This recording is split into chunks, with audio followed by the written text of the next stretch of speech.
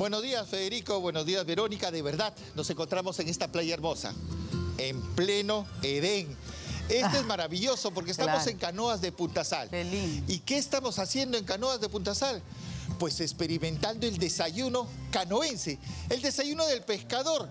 Y vamos a ver estos maravillosos platos que nos han preparado aquí en Canoas de Punta Sal, frente a las playas.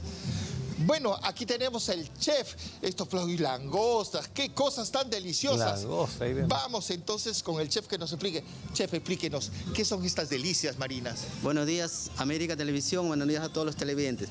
Esto es un desayuno canoense playero. Aquí vas a encontrar todo el pescado de acá de la zona.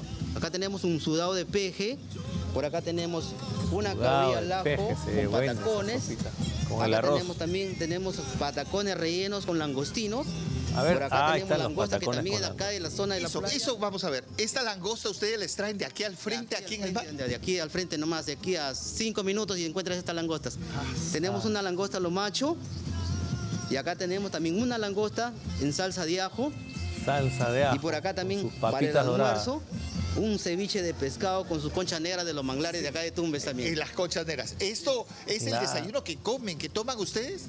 Este es mayormente el almuerzo, pero el desayuno comenzamos de ya comenzado el sud- pescado, el sudado de pescado en el desayuno A para ver, levantarse y Claro, levanta muertos. Aquí, aquí tenemos a, a- a la que ha coordinado todo esto y que ha preparado esta maravillosa comida y aquí es una delicia y que nos prepara esta situación. Han estado de fiesta por el Día del Claro. Pescado. Sí, claro, hemos estado de fiesta por el Día del Pescador y felicitando a todos y invitando a toda la gente del mundo entero de América Noticias agradeciendo y acá tenemos las maravillas de las playas y los ricos, acá también tenemos un pulpo al olivo, pulpo al olivo, pulpo al olivo que este plato sale bastante y lo come la gente de, de Canoa de Punta Sal y de otros sitios.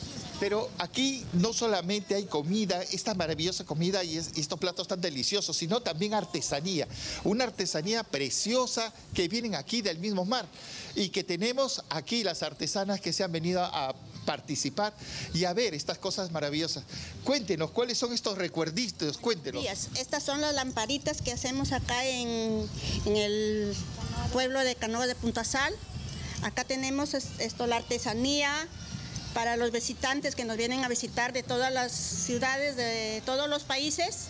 Aquí estamos en Perú. Estamos aquí y es parte de la. Hay hay que hacer una cosa, una cosa que es muy importante, que nos, que nos interesa mucho, y es que aquí en Tumbes se viene un periodo, el avistamiento de ballenas. Nos encontramos aquí con el alcalde, que el alcalde ha visto todo este movimiento. Señor alcalde, cuéntenos un poco, ¿qué es lo que se viene? Sí, buenos días a todo el Perú. En realidad, días, eh, aquí en el norte, en Canoa de Punta Sal, estamos trabajando bastante en el turismo, el avistamiento de ballenas, que justamente vamos a hacerlo oficialmente aquí en el mar el 19 de julio. Y la riqueza hidrobiológica que tenemos acá es exquisita, exquisita. Y queremos ver esto. Fíjese aquí, tenemos un detalle.